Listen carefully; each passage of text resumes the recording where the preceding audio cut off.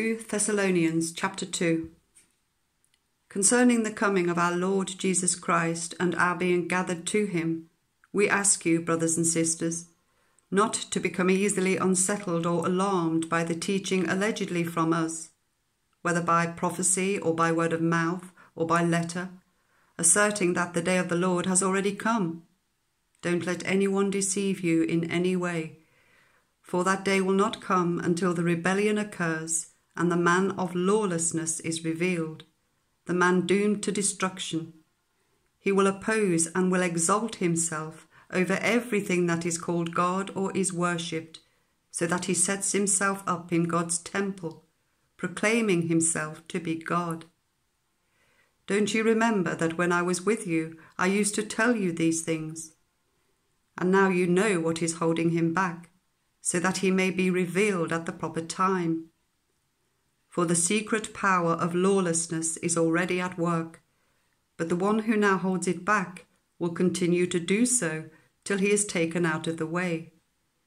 And then the lawless one will be revealed, whom the Lord Jesus will overthrow with the breath of his mouth and destroy by the splendour of his coming.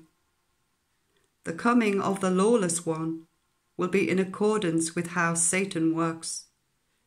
He will use all sorts of displays of power through signs and wonders that serve the lie, and all the ways that wickedness deceives those who are perishing.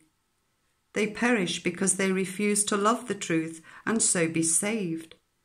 For this reason, God sends them a powerful delusion so that they will believe the lie and so that all will be condemned who have not believed the truth, but have delighted in wickedness. But we ought always to thank God for you, brothers and sisters loved by the Lord, because God chose you as first fruits to be saved through the sanctifying work of the Spirit and through belief in the truth. He called you to this through our gospel, that you might share in the glory of our Lord Jesus Christ. So then, brothers and sisters. Stand firm and hold fast to the teachings we passed on to you, whether by word of mouth or by letter.